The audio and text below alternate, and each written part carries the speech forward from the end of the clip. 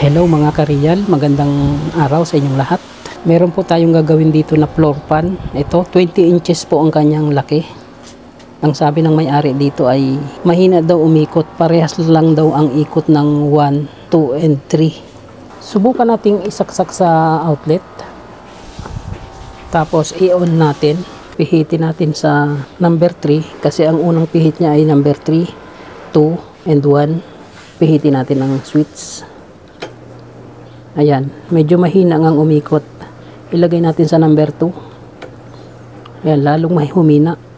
Number 1. Ayan, lalo pong humina ang ilisi. Ilagay natin sa number 3. Mahina pong umikot yan. Halos parehas po ang ikot nila. O, i-off natin at baka pumutok ang thermal fuse. Okay. Sa ganitong problema ng ganitong klaseng electric fan, ano kaya ang posibleng dahilan bakit mahina siyang umikot? Ang gawin natin, baklasin natin, up- tingnan natin kung nasaan ang naging problema nito. Pero bago yan, maraming salamat po sa lahat ng aking mga subscribers dyan na laging nakasuporta at hindi bumibitaw sa munting channel kong ito. Sa mga bago pa lang, paki-like and subscribe na lang po nito dahil ito po ang aking munting channel.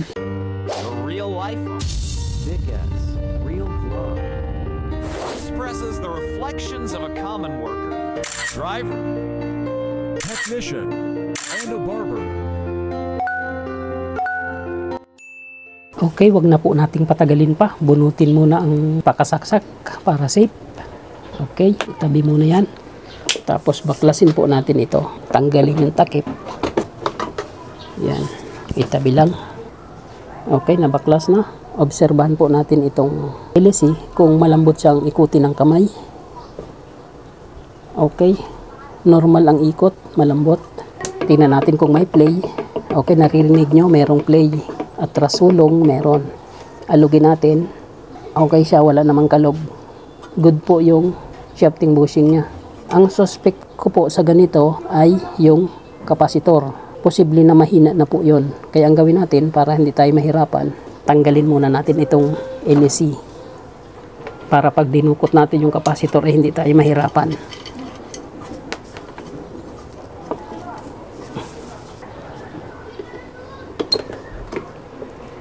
Matigas siya. Ayun, nilagyan nila ng mighty band. Dapat hindi ito nilagyan ng mighty band.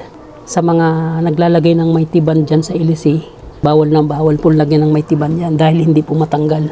Yan, napakatigas. Dapat lock lang po ang inilalagay, hindi nilalagyan ito ng mighty band. Dahil hindi matanggal at good naman ito, ibalik lang natin itong nut niya. Dukutin na lang natin ang kapasitor. Kasi nandun lang po yung kapasitor. Ayun lang po yung kapasitor. Abot na po natin dukutin ang kamayan kasi napakahirap tanggalin ng ilisi. Mababasag po yan. Ayan ito po yung kapasitor. Tanggalin lang po natin itong kapasitor Ang value po ng capacitor na nakalagay ay 3.0 microfarad. Sukatin po natin yung capacitance niya kung 3 microfarad pa ang masusukat. Ito po. Ang nasukat po natin ay 1.33. Wala pang kalahati po yung nasukat natin na value ng capacitor. Dapat ay 3 microfarad ngayon po ay 1.33 na lang. So bumaba po ng halos lagpas kalahati sa kanyang original value. Ibig sabihin po ay palitin na po ito. Palitan po natin ng bago. At ito po yung ipapalit natin na bago. Sukatin po natin ang value. Ayan. 2.97 or 3 microfarad po ang ipapalit natin susubukan natin kung lalakas na ang ikot ng LC ng electric pan na ito. Balatan lang po natin yung dulo ng wire ng pagkakabitan ng kapasitor.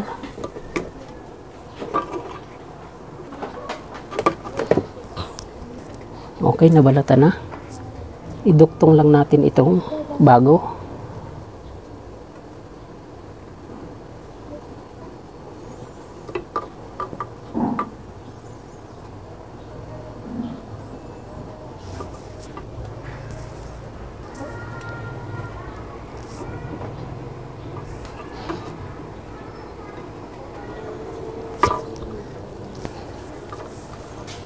Ayan, nakaduktong na. Balutan natin para hindi mag-short circuit.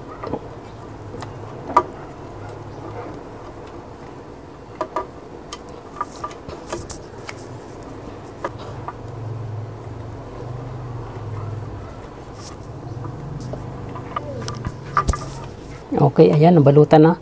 Ibalik lang doon sa kung saan dati nakakabit yung lumang kapasitor. Doon din po ibalik yung bagong ipapalit.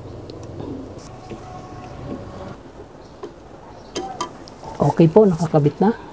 I-fix lang ng maayos itong wire para hindi sumabit.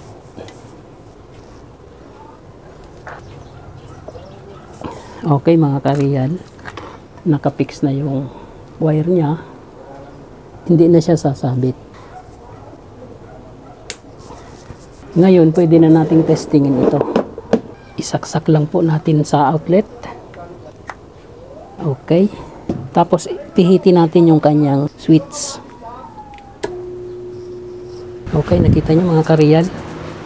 Lumakas na po yung ikot ng LC. Hindi katulad kanina na mabagal siyang umikot. Ngayon, bumilis na ang ikot niya. Yan po yung naka number 3. Pihitin natin sa number 2. Pihitin natin sa number 1.